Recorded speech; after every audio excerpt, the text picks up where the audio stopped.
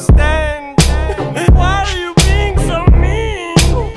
You're a Yo, mean, mean man. You're just jealous of me cause you, you just can't do what I do So instead of just